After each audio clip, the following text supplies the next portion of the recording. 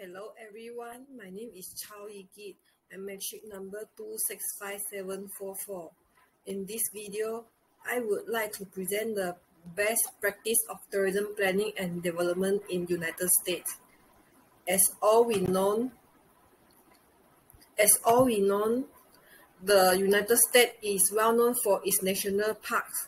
According to Statista Research Department 2020, national park in the United States attract millions of visitors each year due to their vast capacity for outdoor recreation. For example, Great Smoky Mountain, the Grand Canyon, Yellowstone in the US are among the world's well-known national parks due to its breathtaking natural landmarks, camping opportunity, and abundance of wildlife. However, in the US, a national park is a federally protected area of land set aside for con conservation purpose. Next.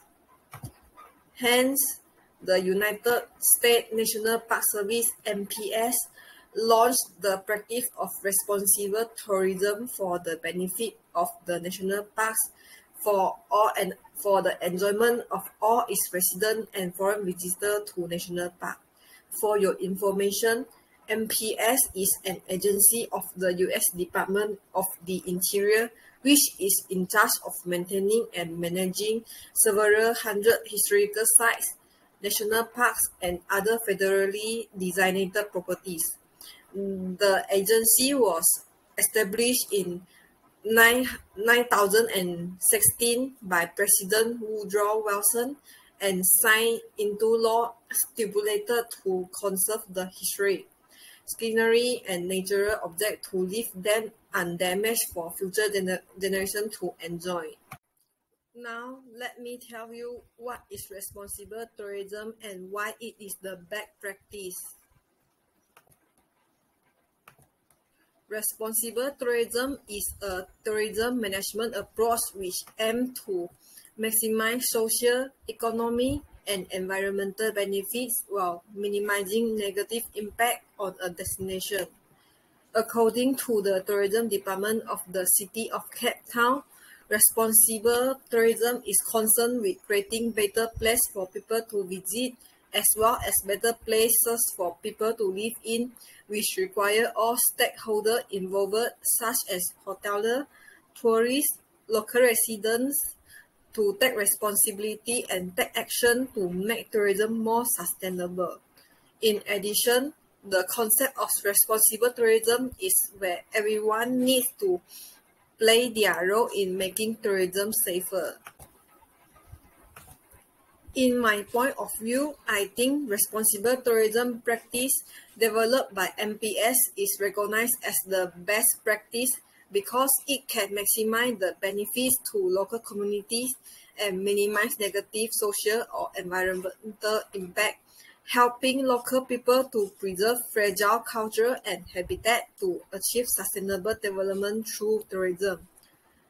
Uh, besides that, the objective of re responsible tourism introduced by NPS not only wants to offer beautiful natural scenery to tourists or campers who visit national park, but also aims to educate tourists about the significance of protecting natural resources and retaining the beauty of Mother Nature. Other than that, the United States Travel Care Code has been developed and managed by Purdue University Sustainable Tourism and Responsible Travel Labs in order to encourage people to travel responsibly and provide travelers with an easy instruction in order to reducing their travel environmental impact. The Travel Care Code program also collaborate with NPS to deliver the message of responsible travel and good guest behavior. So, to support the responsible travel, they also provide a wide variety of resources and tools to destination marketing groups and tour operators. In addition, the seven Leave No Trace principle will be listed in every entrance of na national park, which is a framework of low-impact behavior for everyone exploring the outdoors to remind visitor or camper to always bear in mind and adhere to this principle. For example, respect any animals and wildlife you might encounter. Do not feed any animals unless you are specifically given permission and avoid picking flowers no matter how beautiful. Moreover, under current pandemic situation, government of US continue to heading towards to create a responsible tourism, which would also help avoid the spread of the COVID-19 to give inbound and outbound traveler assurance when they travel to US. Regardless to vaccinators, vaccination status, U.S. federal law mandates all people to wear medical masks at all times while taking any mode of public transportation. Since the COVID-19 pandemic in the US is still not fully eliminated, as such, it is the traveler responsibility to ensure to comply with the policy at all times while traveling in order to make tourism safer.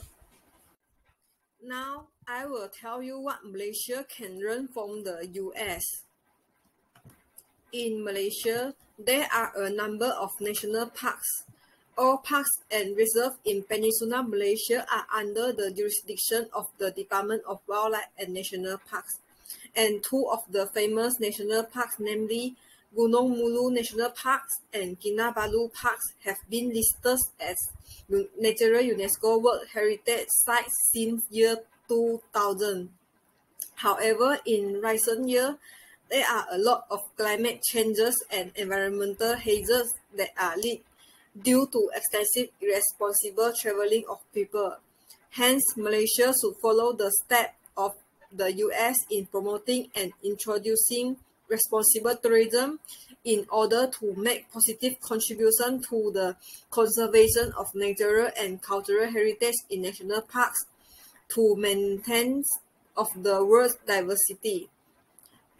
Besides that, government may work hand in hand with the Department of Wildlife and National Parks of Malaysia together to introduce responsible tourism to help to promote sustainable tourism in a way by realizing that one day our children will travel to the same places and so they should be maintained properly from now on.